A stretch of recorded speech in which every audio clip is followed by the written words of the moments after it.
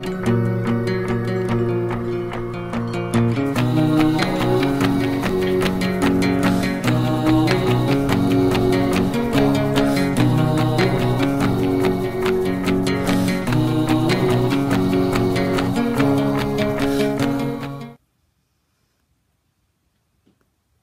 YouTubers. Wildcat Piper here. Coming from the Wildcat Lounge. It's a Sunday afternoon, and I'm smoking a no name basket pipe. Um, Canadian, I guess. And in it, I'm smoking Peter Peter Stokkebye's Luxury Bullseye Flake. If you've never seen them, they come in little medallions or coins like this and um, it's got Perique Virginias and if you look in the center of that you can see the black Cavendish and uh, but the black Cavendish is way in the background this is a blend normal that I don't smoke not bad in this pipe and the price, you can't beat the price for Peter Stokkebye's blends. And um, got a few of his different blends. And I did want to try the this, these uh, medallions, this the luxury flake, and it's pretty good. There's two. I've got two of them rubbed out in here. I would say generally it's probably two of them would uh, fill up most pipes. and uh, so not a bad blend. Really a good opportunity for me to try something other than Englishes or aromatics. So I do uh, like the fact that it's not those. It give me a different flavor in my tobacco, and it's not a bad blend.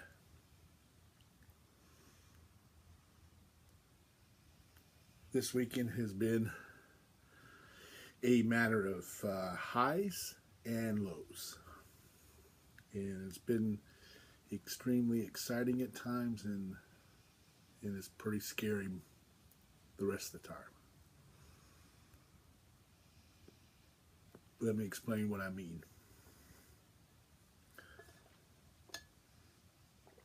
This past Friday night we had our um, Halloween trunk or treat and it went great.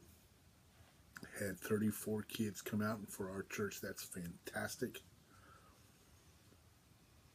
Along with that, we had 12 people sign up. Well, not sign up, but 12 people donate their trunks to hand candy out.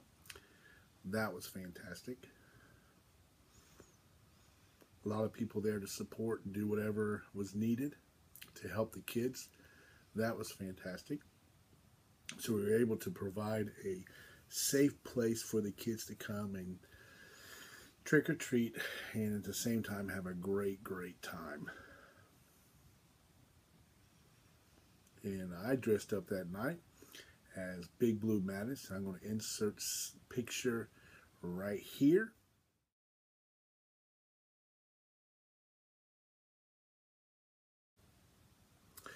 Yeah, that was me.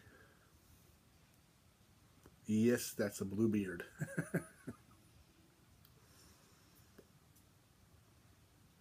it was uh, great fun and a great time. so I go to work Saturday morning. And I get a call from the secretary of our church. One of the ladies that helped us that night, Friday night, woke up Saturday morning and had a tremendous headache. And um,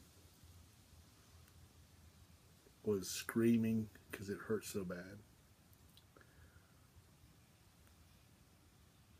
To the point where her husband, who was also there that night, just a great couple, she's probably in her mid 60s.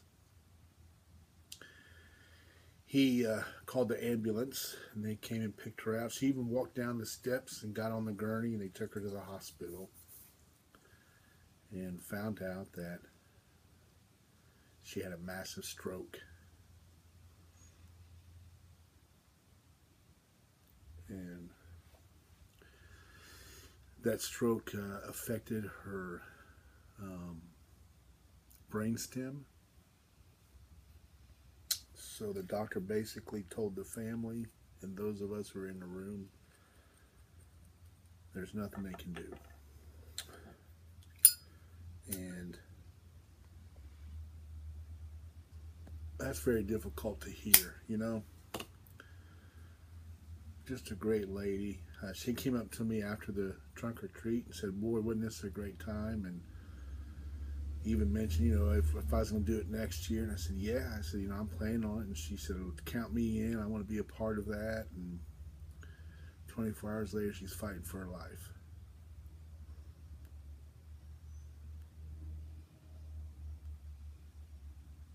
And it just kind of reminds reminds all of us that uh, you know life is fleeting. Nothing but a whisper.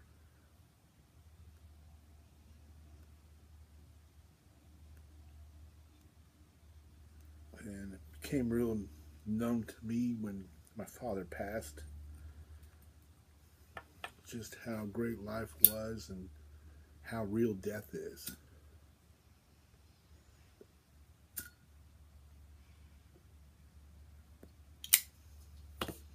So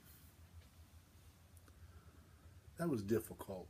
Still is, you know. She's last uh, word was, you know, nothing they can do, and she's still fighting, you know. Doctors have given up, but uh, our prayers haven't. And uh, we've been praying for her very hard.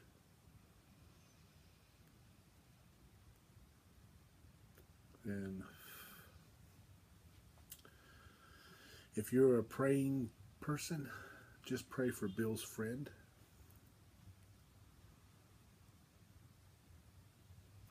And um, just, I am praying for a complete healing. I'm also praying for comfort for her husband.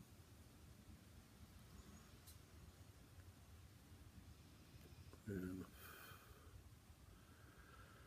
so been dealing with that. It's kind of like you're on a high with how great the trunk or tree went and a lot of lot of new kids and then you just get blasted by something so tragic the very next day.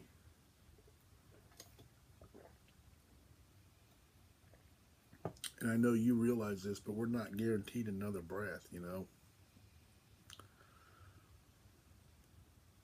That was a message I gave to the kids today at church was I mean you don't know.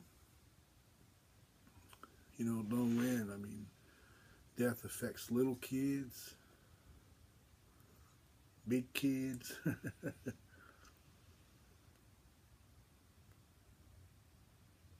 But it's just kind of made this weekend kind of blah for me. I was so excited from the trunk or treat. Great things we accomplished there and then dealing with this.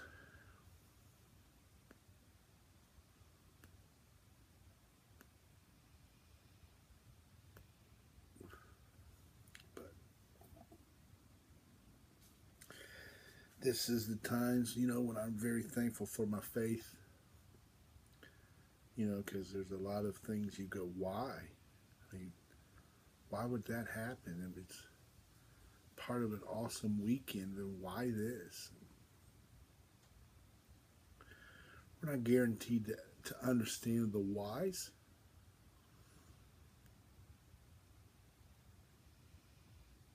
What it's important we understand the who.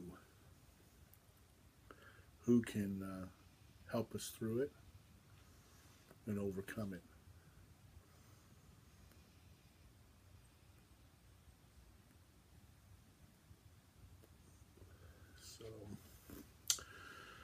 But didn't mean to make it a downer for everyone. But you know, sometimes you just go. You need to go to your friends.